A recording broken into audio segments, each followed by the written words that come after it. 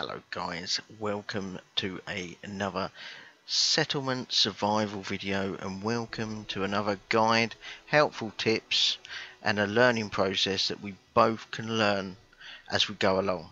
There may be some things that you didn't know that I might say and you think, oh actually I'll take that on board and there might be things that you can leave in the comments that I've missed so I can learn the game as well as you learning it as well. So today, as you can see by the thumbnail, it's all about farms. So how to get more efficient farms. How can you produce the best crop yield that you can? Well, there's a few things that obviously will help this. As you can see here, I've got a new starting starting area um, that they are starting. I put that on low first because they haven't got any houses yet. So obviously your farms, these are all fully unlocked. You've got a standard farm, so you've got a yield that is standard. But fertilizer field is great because it can give you 20% more yield. So it boosts the yield. So a fertilizer field is something that you do need to put down. It will absolutely help. So we're just going to put one here and we're going to do one there so you've got your farms, you've got one here and one there. I will just start this up a little bit quicker so they can actually build it. Once they decide to build it, I will make them go a bit quicker. Here they go.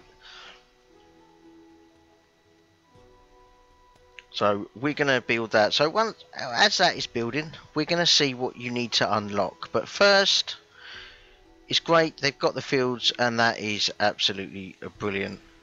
Um, it's got a boost yield, so it's very, very efficient. It's better than the standard yield. Um, as you can see, there is quite a few different ones. Um, so a normal field is sown in March and harvest in September. A fertilizer field, but it's it's fixed. It's a fixed standard. Um, and then obviously you've got a standard field but you want fertilizer field it's got a better yield boost. So we're just going to do for now we're going to put in lettuce here and we're going to do pumpkin in this bit here. We've got three people on there three people on that. So that's quite good. What you can do to make them more efficient is by putting in a stone road. People travel at least 25% more by using a stone road to get to places. So putting a stone road, they will get there quicker. Let's have a look at the development area. Horticulture. This is everything that you need to actually boost on what you need. So a field yield is plus 10%. That is obviously lack here. A pasture yield is an extra 10%. Right, so compost, very, very good. You can get a compost plant. This also really does help fields. Fertilizer field. Again, as you can see, it gives you a boost yield. So it means that you will get more crops after you've started it. This here is very, very, very important. As you can see, once this is unlocked, the speed of sowing and harvesting is 100% more efficient by unlocking this item here.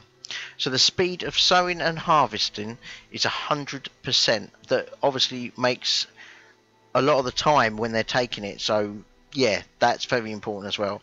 Plantation, very, very, very important. Um, this is like the nursery, if you like, a plantation. You can also plant herbs in it. Now, this isn't a starting game. This is a bit further on because you do need glass and you can't do that straight away um, but it does give you an extra 50% on yield. So as you can see that is all there as well. So that is brilliant. I'm going to just quickly have a look.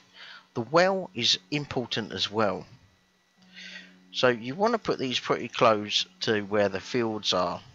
Obviously the fields need to be close to where the warehouses are so they can actually take the stuff when they actually sow it when it comes to obviously harvesting time they can actually harvest it really quickly and put it straight into the warehouse or the storage area depending on what you've got available.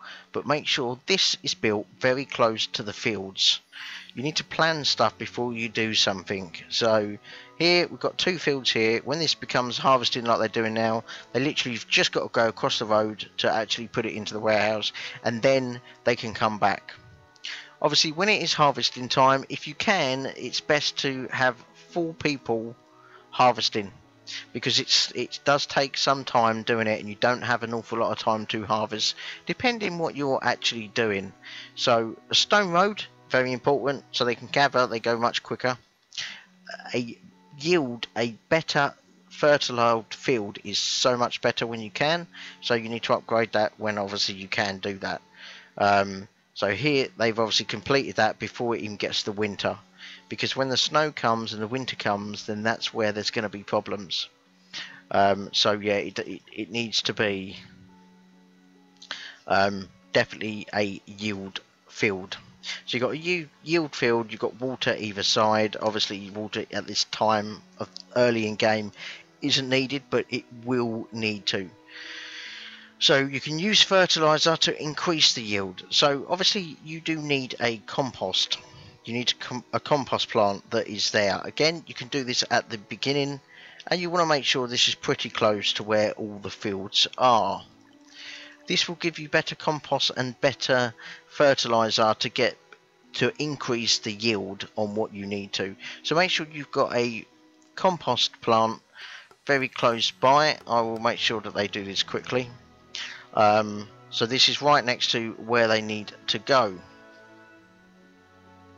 I'm just going to um, do that up very quickly. So yeah, fertilize field that boosts it. You need a compost plant that's very close to the actual fields. Um, warehouse or some sort of stock very close to the field and then a stone road if you can around the fields because it gets people there quicker when it comes to harvesting, try and put as much people as you can into it so you don't lose any crops before the winter hits.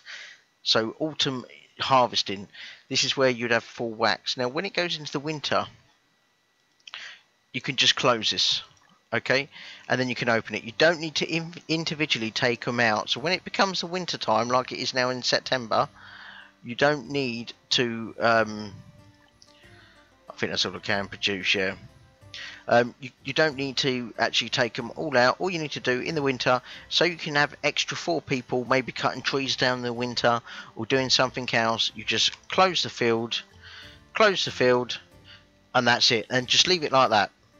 So you've suspended the field. When it becomes planting again in around March time, then you need to just click that, enable it and the people that were working there are still working there. It's nice and easy. It saves i've seen a few people in videos i've watched taking them all out. You don't need to do that. Just close it it suspends it and then you're back again. Nice and nice and easy. So we, we close that. So that is one one of the main important things on obviously making your farms more efficient you need the compost there you need the warehousing and the storage close to it so when they harvest it it's they don't have to travel very far. You need to yield a fertilized field because it produces so much better um, yield. And on top of that obviously the compost will if you use certain fertilizer that will increase the yield as well so hopefully that has been um, some sort of help. Some of it is very, very common sense, I know. Uh, but yeah, that is how you get more efficient farms. If you know any other ways that will make them more efficient, then please leave uh, the comments below and I will try them to see if they do make it more efficient or not. But at the moment, this is the only way that I can see that makes a very efficient farm. Until next time guys, thank you for joining me. Please like and subscribe and I shall see you in another guide or I shall see you in a let's play or in another video. Until next time, thank you very much. I shall see you soon. See you later.